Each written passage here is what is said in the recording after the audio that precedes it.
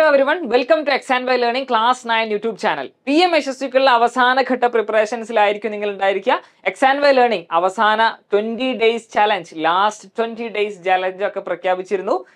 Social സയൻസിലെ കഴിഞ്ഞ രണ്ട് episodes നിങ്ങൾ ഇതുവരെ കണ്ടിട്ടില്ല നമ്മുടെ ചാനലിൽ പോയാൽ സോഷ്യൽ സയൻസിലെ രണ്ട് വീഡിയോസ് അവൈലബിൾ ആണ്. രണ്ടും കാണണം. പി എം സിക്ക് കഴിഞ്ഞ വർഷം ചോദിച്ച ക്വസ്റ്റ്യൻ പേപ്പറിലെ ചോദ്യങ്ങൾ തന്നെയാണ് നമ്മൾ ഡിസ്കസ് ചെയ്തുകൊണ്ടിരിക്കുന്നത്. സോ ഇന്നത്തെ എപ്പിസോഡ് മൂന്നിലെ ചോദ്യങ്ങൾ എന്തൊക്കെയാന്ന് നോക്കാം. Which of the following is not an agro based industry ചോദ്യം വായിക്കുമ്പോൾ കൃത്യമായിട്ട് വായിക്കണം. നോട്ട് എന്നുള്ളതാണ്. Not an agro based industry അപ്പോൾ നാല് ഓപ്ഷൻസ് ഉണ്ട്. ഇതിൽ അഗ്രോ ബേസ്ഡ് ഇൻഡസ്ട്രി അല്ലാത്തത് ഏത് എന്നുള്ളതാണ് ചോദ്യം. Right jute sugar plantation iron and steel industry അപ്പൊ നാല് ഓപ്ഷൻസ് ഉണ്ട് കറക്റ്റ് ആയിട്ടുള്ള answer iron and steel industry എന്നുള്ളതാണ്. അപ്പോൾ അഗ്രോ ബേസ്ഡ് ഇൻഡസ്ട്രി എന്താണ് എന്നുള്ളതാണ് നമ്മൾ ആദ്യം മനസ്സിലാക്കേണ്ടത് അല്ലേ? അപ്പോൾ അഗ്രികൾച്ചർ റിലേറ്റഡ് ആയിട്ടുള്ള അഗ്രോ ബേസ്ഡ് ആയിട്ടുള്ള ബൈ പ്രൊഡക്ട്സ് ഉപയോഗിച്ചുകൊണ്ട് ഉണ്ടാക്കുന്ന പ്രോഡക്ട്സ് ആ തരത്തിലുള്ള ഇൻഡസ്ട്രികളെയാണ് അഗ്രോ ബേസ്ഡ് ഇൻഡസ്ട്രി എന്ന് പറയുന്നത്. വ്യത്യസ്ത തരങ്ങളിലുള്ള അഗ്രോ ബേസ്ഡ് ഇൻഡസ്ട്രികൾക്ക് കുറച്ച് ഉദാഹരണങ്ങൾ. ഇന്ത്യയിലെ രണ്ടായിരത്തി ഇരുപത്തി മൂന്നിലെ കണക്കുകൾ പ്രകാരം ഏറ്റവും കൂടുതൽ പ്രൊഡക്ഷൻസ് നടക്കുന്ന അഗ്രോ ബേസ്ഡ് ഇൻഡസ്ട്രിയുടെ ലിസ്റ്റാണ് ഞാൻ ഇവിടെ കൊടുത്തിട്ടുള്ളത്. So textile industry industry of food processing okay dairy sugar vegetable oil industry of tea industry of coffee leather goods bamboo jute അപ്പൊ ഇത്രയും പ്രധാനപ്പെട്ട കുറച്ച് അഗ്രോ ബേസ്ഡ് ഇൻഡസ്ട്രികളാണ് ഇവിടെ പരിചയപ്പെടുത്തിയത്. രണ്ടായിരത്തി ഇരുപത്തി മോസ്റ്റ് പ്രൊഡ്യൂസിങ് അഗ്രോ ബേസ്ഡ് ഇൻഡസ്ട്രികളാണ് ഈ പത്തെണ്ണം. റൈറ്റ് അപ്പൊ അഗ്രോ ബേസ്ഡ് ഇൻഡസ്ട്രി എന്ത് എന്താണ് എന്നുള്ളത് കൃത്യമായിട്ട് മനസ്സിലാക്കാം. What is the process in which minerals lying near the surface are dug out രണ്ടാമത്തെ ചോദ്യമാണ് വാട്ട് ഈസ് ദ പ്രോസസ് ഒരു പ്രോസസ്സിന്റെ പേരാണ് നമ്മൾ പറഞ്ഞു കൊടുക്കേണ്ടത്. എന്താണ്? In which minerals lying near the surface are dug out അപ്പൊ minerals lying near the surface സർഫസിനോട് അടുത്തുള്ള മിനറൽസ് ഡഗ് ഔട്ട് ചെയ്യുക കുഴിച്ചെടുക്കുന്ന പ്രോസസ്സിനെ എന്ത് പേരിലാണ് വിളിക്കുന്നത് എന്നുള്ളതാണ്.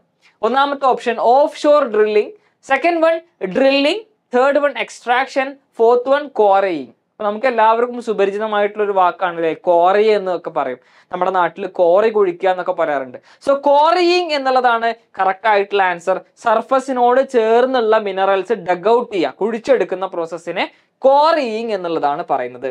Coring is the process of removing rock sand gravel or other minerals from the ground in order to use them to produce materials for construction or other uses. അപ്പൊ നമ്മുടെ വീട് പണിക്കൊക്കെ ആവശ്യമായിട്ടുള്ള ഗ്രേവലും അതുപോലെ തന്നെ ബാക്കിയുള്ള റോക്ക് സാൻഡ് പോലെയുള്ള മിനറൽസ് ഒക്കെ സർഫസിനോട് അടുത്ത് നിന്ന് ഡഗ് ഔട്ട് ചെയ്യുക കുഴിച്ചെടുക്കുന്ന ആ ഒരു പ്രോസസ്സിനെയാണ് ആക്ച്വലി കോറിയിങ് എന്ന് പറയുന്നത്. ഓക്കെ അപ്പൊ കോറിയിങ്ങിന് തന്നെ വ്യത്യസ്തമായിട്ടുള്ള കുറേ അധികം സ്റ്റേജുകൾ കോറയിങ്ങിനെ കുറിച്ചിട്ടൊക്കെ കൂടുതൽ പഠിക്കുകയാണെങ്കിൽ ഫോർ എക്സാമ്പിൾ ഇതാ ഇവിടെ ഒരു ഫസ്റ്റ് സ്റ്റേജ് എന്നുള്ള രൂപത്തിൽ ഇവിടെ ഇലസ്ട്രേറ്റ് ചെയ്തിട്ടുള്ളത് create a mine plan to map and coordinate the activity on site അപ്പോൾ ഒരു സർഫസിൽ എവിടൊക്കെയാണ് മിനറൽസ് കൂടുതൽ എന്നുള്ളതും എവിടൊക്കെയാണ് കൂടുതലായിട്ട് മൈൻ ചെയ്യേണ്ടത് ഡഗ് ഔട്ട് ചെയ്യേണ്ടത് കുഴിച്ചെടുക്കേണ്ടത് എന്നുള്ള കാര്യങ്ങളൊക്കെ ആദ്യം പ്ലാൻ ചെയ്ത് ഒരു മാപ്പ് തയ്യാറാക്കുന്ന പ്രോസസ്സാണ് ഫേസ്റ്റ് സ്റ്റേജ് എന്ന് പറയുന്നത്. റൈറ്റ് എന്നാൽ സെക്കൻഡ് സ്റ്റേജ് രണ്ടാമത്തെ stage remove the top layer of material the overburden എന്നുള്ളതാണ് അതിന് പറയാം. ഓക്കെ അപ്പോൾ മെറ്റീരിയലിന്റെ ടോപ്പ് ലെയർ ഒഴിവാക്കുന്ന പ്രോസസ്സാണ് രണ്ടാമത്തെ പ്രോസസ് മൂന്നാമത്തെ സ്റ്റേജ് എന്താ? Drill holes insert explosive and blast rock face to loosen material അപ്പോൾ ഹോൾസ് കുഴിക്കുന്ന പ്രോസസ്സാണ് ആക്ച്വലി മൂന്നാമത്തെ ഒരു സ്റ്റേജ് ആയിട്ടുള്ളത്. നാലാമത്തെ സ്റ്റേജിൽ ട്രാൻസ്പോർട്ട് മെറ്റീരിയൽസ് ഫോർ പ്രോസസ്സിംഗ് അത് ലോഡ് ആൻഡ് ഹോൾ എന്നൊക്കെയാണ് അതിനെ വിളിക്കുക. ജസ്റ്റ് പറഞ്ഞു പോകുന്നേ ഉള്ളൂ. കോറിയിങ് എന്ന് പറയുന്ന പ്രോസസ്സ് ഒരു നീണ്ട പ്രോസസ്സാണ് അതിന് കുറേ അധികം സ്റ്റേജുകൾ ഉണ്ട് എന്നുള്ളതാണ് പറയുന്നത്. അഞ്ചാമത്തെ പ്രോസസ്സിൽ തന്നെ process materials using crushing and screening technology അപ്പോൾ കുറേ അധികം ടെക്നോളജികൾ ഇതിൽ ഇൻവോൾവ് ആണ് കേട്ടോ അപ്പൊ ക്രഷിംഗ് ഒക്കെ വരുന്ന ഒരു സ്റ്റേജ് ആണ് അഞ്ചാമത്തെ സ്റ്റേജ് അഞ്ചാമത്തെ സ്റ്റേജിൽ തന്നെ ഒരു സബ് പാർട്ട് ഉണ്ട്. Add extra value to processed materials using additional processing technologies അപ്പോൾ ആൾറെഡി കുഴിച്ചെടുത്തതിൽ നിന്ന് പ്രോസസ്സ് ചെയ്യുക വീണ്ടും പ്രോസസ്സ് ചെയ്യുക അതിൽ വേണ്ടാത്ത സംഗതികളൊക്കെ ഒഴിവാക്കുക എക്സ്ട്രാക്ട് ചെയ്യുക അങ്ങനത്തെ കാര്യങ്ങളൊക്കെയാണ് ഈ ഒരു സ്റ്റേജിൽ വരുന്നത്. പിന്നെ transport finished products to customers and partner organisation അല്ലേ അപ്പോൾ നമ്മൾ കുഴിച്ചെടുത്ത മെറ്റീരിയൽസ് നമ്മൾ ട്രാൻസ്പോർട്ട് ചെയ്യുക എവിടേക്കാണോ എത്തിക്കേണ്ടത് അവിടെ ട്രാൻസ്പോർട്ട് ചെയ്യുക പിന്നെയോ products use to create sustainable solution that positively impact on people life നമുക്ക് എവിടെയാണോ ഈ കുഴിച്ചെടുത്ത പ്രൊഡക്ട്സ് ഒക്കെ ഉപയോഗിക്കേണ്ടത് അവിടെ ഉപയോഗിക്കുക എന്നുള്ളതാണ് ഉദ്ദേശിച്ചത് products recycled on reused wherever possible to reduce life time carbon emission അപ്പൊ നമ്മൾ ഇങ്ങനെയൊക്കെ കുഴിച്ചെടുത്ത് എടുക്കുന്ന മെറ്റീ മിനറൽസ് മെറ്റീരിയൽസ് അത് വീണ്ടും നമുക്ക് റീസൈക്കിൾ ചെയ്യാൻ പറ്റുമെങ്കിൽ വീണ്ടും റീസൈക്കിൾ ചെയ്യുക. അതാണ് ആക്ച്വലി സ്റ്റേജ് എയ്റ്റ് എന്ന് പറഞ്ഞിട്ട് ഇവിടെ കൊടുത്തിട്ടുള്ളത്. റൈറ്റ് അപ്പോൾ കോറിങ് എന്നുള്ള പ്രോസസ്സ് എന്താന്നുള്ളത് ഒന്ന് മനസ്സിലാക്കുക. അതിന് കുറേ അധികം സ്റ്റേജുകൾ ഉണ്ട് അതായത് മിനറൽസ് എക്സ്ട്രാക്ട് ചെയ്യുന്ന ഒരു പ്രോസസ്സാണ് ആക്ച്വലി എന്ത്? കോറിയിങ് സർഫേസിന്റെ അടുത്തുള്ള മിനറൽസ് എക്സ്ട്രാക്ട് ചെയ്യുന്ന പ്രോസസ്സാണ് ആക്ച്വലി കോറയിങ് എന്നുള്ളത് മനസ്സിലാക്കുക. ഇനി നെക്സ്റ്റ് ക്വസ്റ്റ്യൻ സിമ്പിൾ ആയിട്ടുള്ള ഒരു മാച്ച് ദ ഫോളോയിങ് ആണ്. എല്ലാവർക്കും കറക്റ്റ് ആയിട്ട് ആൻസർ ചെയ്യാൻ പറ്റുന്ന ഒരു മാച്ച് ദ ഫോളോയിങ് തന്നെയാണ്. എ ഉണ്ട് ബി ഉണ്ട്. ഹിന്ദു മുസ്ലിം സിഖ് ക്രിസ്ത്യൻ ഓരോ റിലീജിയൻസിനെ കുറിച്ചാണ് പറഞ്ഞിട്ടുള്ളത്. അവരുടെ ഓരോ റിലീജിയൻസുമായി ബന്ധപ്പെട്ടിട്ടുള്ള അവരുടെ വേർഷിപ്സുമായി ബന്ധപ്പെട്ട സംഗതികൾ. Church temple mosque gurdwara. ഇതിൽ കുറച്ചെങ്കിലും നമുക്ക് കൺഫ്യൂഷൻ ഉണ്ടാവുന്ന വേർഡ് ഗുരുദ്വാര എന്നുള്ളതാണ്. റൈറ്റ് ഗുരുദ്വാര എന്നുള്ളത് ചിലർ കേട്ടിട്ടുണ്ടാവും ചിലർ കേട്ടി കേൾക്കാൻ ചാൻസ് കുറവാണ്. എങ്കിൽ കൂടി നമുക്കിതാ ഇങ്ങനെ മാച്ച് ദ ഫോളോയിങ് കിട്ടിയാൽ നമുക്ക് അറിയുന്ന സംഗതികൾ പെട്ടെന്ന് മാച്ച് ചെയ്ത് നോക്കുക. ഹിന്ദു എന്നുള്ളത് ടെമ്പിൾ ആണ്. റൈറ്റ് മുസ്ലിംസിന് മോസ്ക് ആണ്. സിഖിന് ഏതാന്നുള്ളത് ചിലപ്പോൾ മേ ബി കൺഫ്യൂഷൻ ഉണ്ടായേക്കാം. ക്രിസ്ത്യൻസിന് ചേർച്ച് ആണ്. Last one Sikh that's gurdwara. Right അപ്പോൾ സിമ്പിൾ ആയിട്ട് നമുക്ക് ആൻസർ ചെയ്യാവുന്നതാണ്.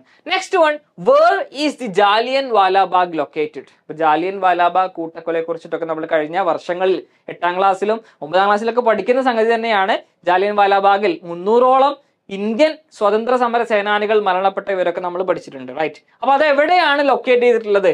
ജാലിയൻ വാലാബാഗ് എന്ന് പറയുന്ന സ്ഥലം എവിടെയാണ് ലൊക്കേറ്റ് ചെയ്തിട്ടുള്ളത്? ആഗ്രയിലാണോ അമൃത്സറിലാണോ ഫിറോസ്പൂരിലാണോ ഡൽഹിയിലാണോ? നാലും നോർത്തിലുള്ള സ്ഥലങ്ങളാണ്.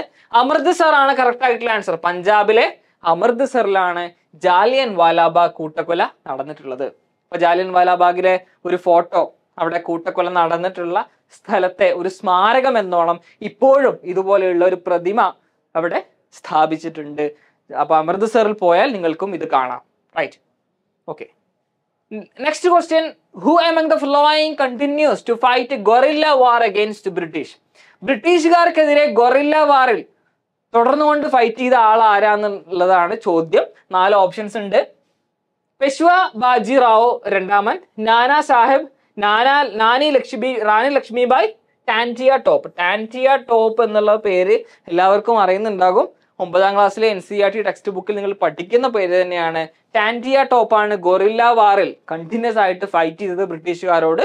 ടാൻഡിയ ടോപ്പിന്റെ ഒരു ചെറിയ explanation Tantia Tope escape to the jungles of central India and continue to fight a guerrilla war with the support of many tribal and peasant leaders he was captured tried and killed in April eighteen fifty nine right അപ്പോൾ guerrilla war ബ്രിട്ടീഷുകാർക്കെതിരെ continues ആയിട്ട് fight ചെയ്തത് ആരാന്ന് ചോദിച്ചാൽ ടാന്റിയ ടോപ്പാണ്. അദ്ദേഹത്തിന്റെ ഒരു photo അദ്ദേഹത്തിന്റെ ഒരു പോസ്റ്റൽ സ്റ്റാമ്പ് പുറത്തിറക്കിയിരിക്കുന്നു. അതിന്റെ ഒരു ഫോട്ടോ ആണ് നിങ്ങൾക്ക് ഇവിടെ കാണാൻ കഴിയുന്നത്. സോ ഇത്രയും ചോദ്യങ്ങളാണ്. ഒരു ചോദ്യം കൂടി ഉണ്ട്. What do understand by manual scavenging ഇത് ലാസ്റ്റ് ചോദ്യമാണ് ഈ എപ്പിസോഡിലെ മാനുവൽ സ്കാവഞ്ചിങ് എന്നറിയപ്പെടുന്നത് എന്താണ്? അതുമായിട്ട് ബന്ധപ്പെട്ട് കിടക്കുന്ന സെന്റൻസ് ഏതാണ് എന്നുള്ളതാണ് ചോദ്യം. Work of scavenging by machine work of scavenging by hand work of scavenging by the people for all of all communities work of scavenging by using animals correct ആയിട്ടുള്ള answer by hand എന്നുള്ളതാണ്. കൈകൊണ്ട് മനുഷ്യന്മാര് അഴുക്ക് ചാലുകളൊക്കെ വൃത്തിയാക്കുന്ന പ്രോസസ്സിനാണ് actually manual scavenging എന്ന് പറയാം കേട്ടോ ഇപ്പൊ കുറെ ഫോട്ടോസ് ഞാനിവിടെ കൊടുത്തിട്ടുണ്ട്. നമുക്കറിയാം.